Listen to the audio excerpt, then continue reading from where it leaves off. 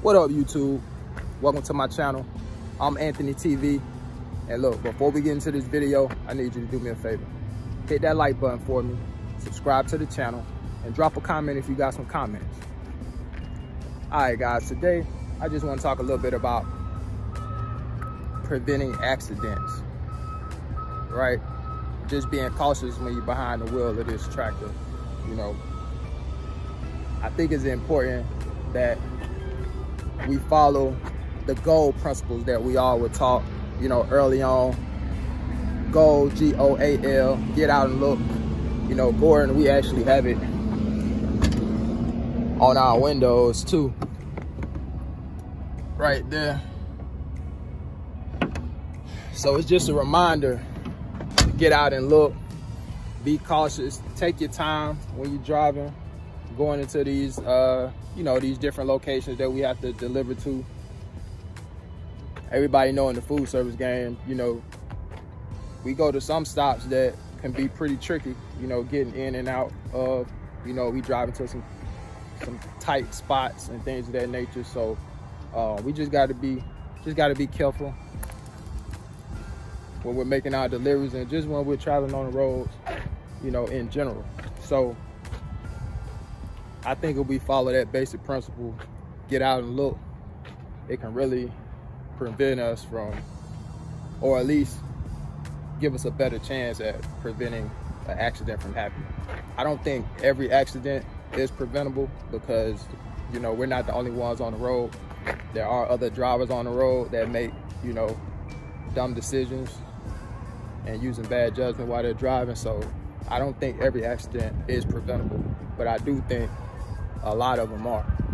You know, I think we, we all can kind of go on YouTube and put in the search uh, semi truck driver getting an accident or truck driver gets into an accident or whatever and we'll see a whole bunch of videos about you know truck drivers getting in an accident and when we look at those videos sometimes we probably think to ourselves like man the guy was an idiot he should have did this or should have done that or whatever the case may be you know so my point is that those type of accidents occur that are preventable. So we just got to take the right measures and just follow the basic principles. Um, you know speaking of accident i'm gonna tell you guys a little story about an accident that i had last year. Um, it wasn't anything major but it was considered an accident, right? So I was at a particular location. It was dark outside. Um, it was early in the morning, about five o'clock in the morning, 4:45, somewhere around there. So it was still dark outside. I was delivering to a nursing home, and in order to make the delivery to this particular location, um, so I thought, and I, will tell you why I say so I thought um, you had to back all the way from like the side of the building to the back side of the building. Um, so I was gonna draw a little diagram for you just so you guys can see what I'm talking about, but hopefully you can get it, what I'm saying by the explanation and kind of just paint the picture in your head. So um, the building is on the left side, right? You see my truck here is on the right. So I'm on the right side, building on the left. You got guardrails on the left and the right. And I have to back in between the guardrails and circle kind of around the building. You also have parking. You got people parked on the left side and the right side uh, once you get through the guardrails, right? So the guardrails, they don't just go straight back they kind of got a curve in it. So you can't really just back straight back. You got to turn a little bit to get through the curve of the guardrails.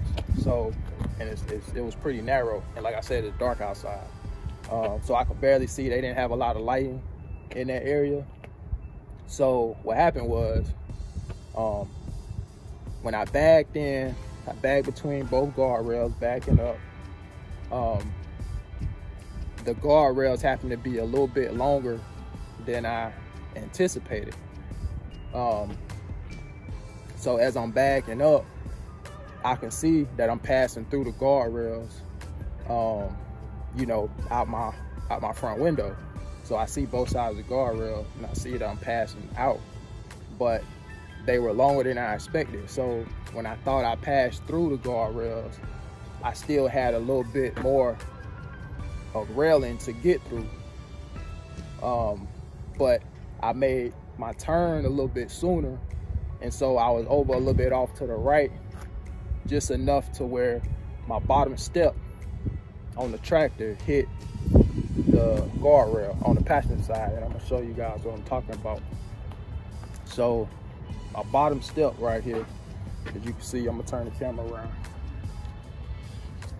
So this step right here hit the guardrail and dented it, like right in this area, put a dent in it. You know, they, they replaced it since then, but this bottom step right here, this bottom step hit the guardrail and they put a dent in it. Right? And so when I felt it, I'm like, oh shoot, let me check out and see what happened. You know, what I mean, hit something. So I, as soon as I hit it, I stopped, parked the truck to see what kind of damage was done. And I seen it was the little bottom step that had hit the, the guardrail. Um, I said that to say this. Um, even though it was, you know, dark outside, it wasn't a lot of lighting in that area. I think that they got like maybe one pole like um, a little bit further out, but where the railing is at, it's, it's, it's like real dark. And like I said, you have to bag, or so I thought you have to bag all the way around this building. So I was doing that for like two months, right? Backing up all the way around this building to the delivery area where we needed to go to. Um, but I end up hitting the guardrail. Um, you know, I told my manager send a picture to him, kind of showed him. But it was considered an accident, even though it was it was minor. It wasn't, you know, a lot of damage um, done to the tractor. Um, it still was considered an accident, right? And it was a preventable accident because I think if I would have got out and looked, I would have saw that, you know, I was a little bit over to the right and needed to kind of center just a little bit. And I could have positioned my tractor, you know, a little bit better to go ahead and get through. Like I said, I had been going through that, um, through the guardrails before. Like I said, I, I, I had to go through there at least, I don't know, probably two months or something like that. And then just one day I end up hitting it. Um, but yeah, I, I feel like if I would have got out the truck and looked instead of just, you know, feeling like, oh, I got this or whatever, because it was dark outside, I should have really got out and looked, but I didn't. Um, and I end up hitting. So those type of accidents right there are preventable. You know what I mean? So you just got to be smart and really use good judgment when we out here on the roads um, to try to prevent things from like like that from happening. You know, having correct following distance when we on the highways, looking out both sides of the mirror, left and right, uh, as you travel down the highway. You know, all of that can help prevent an accident from happening.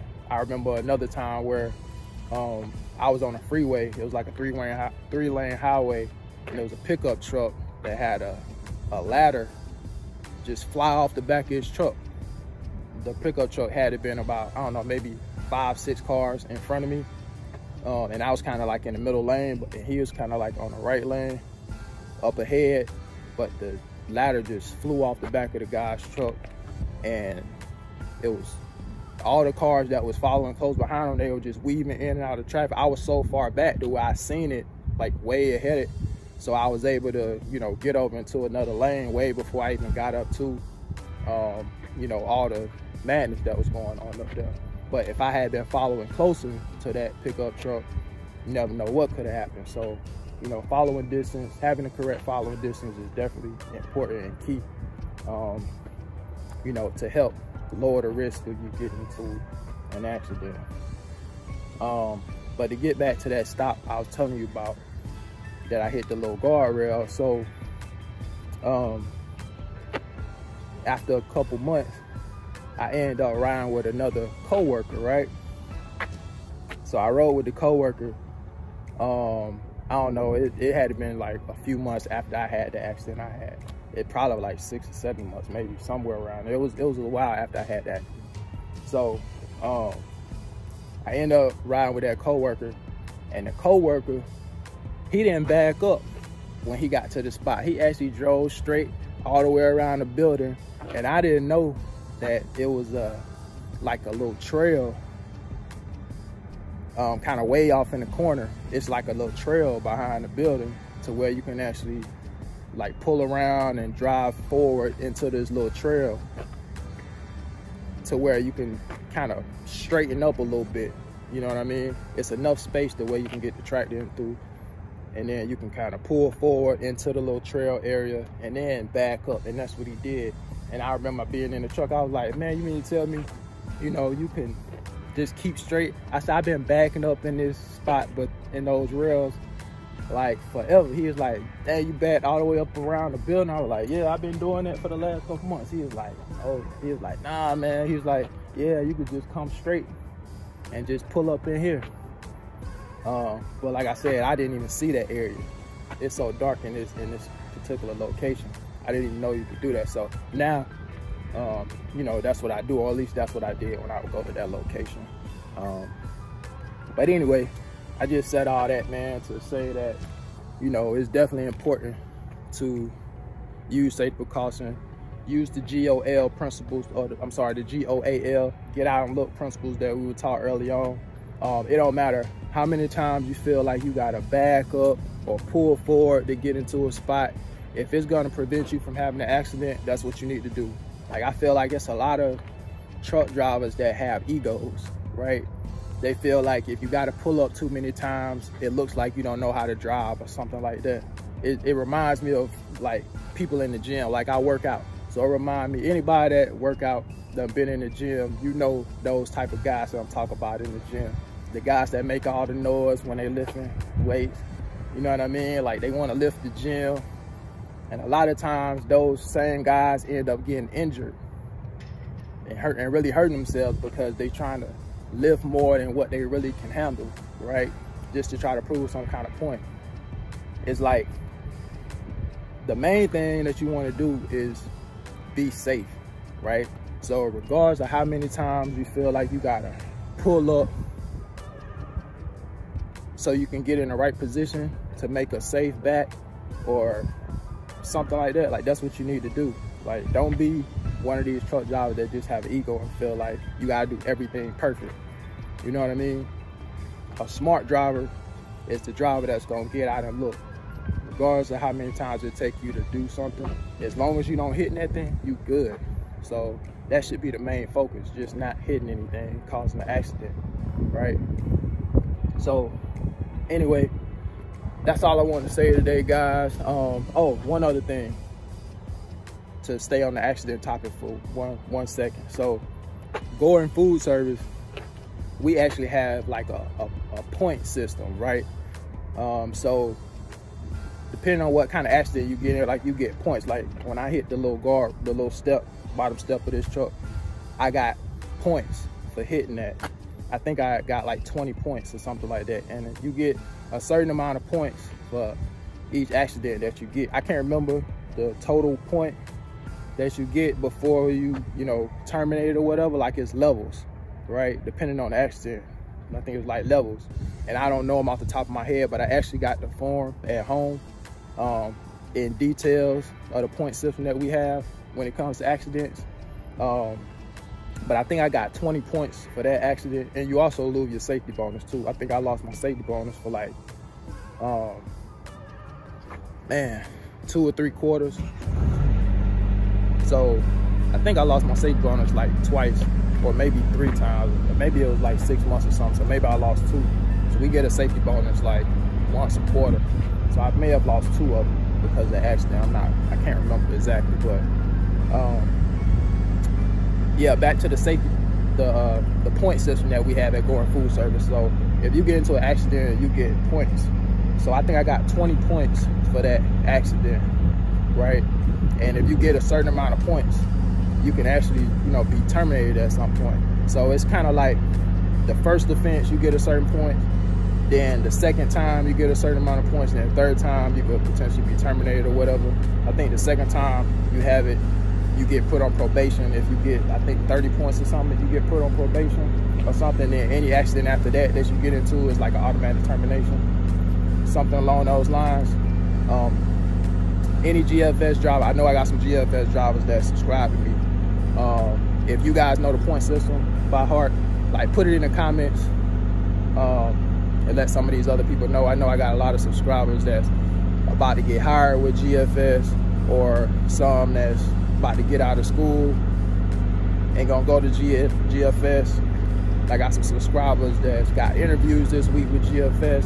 So I'm just trying to put out and share all the information I can to help those guys out there that, that want to come on the team.